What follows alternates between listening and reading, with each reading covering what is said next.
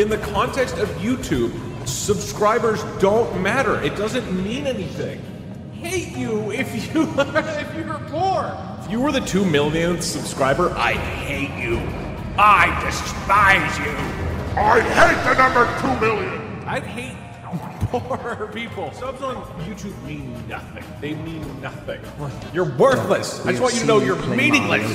For two million. If that's who you are, then yes, I hate you.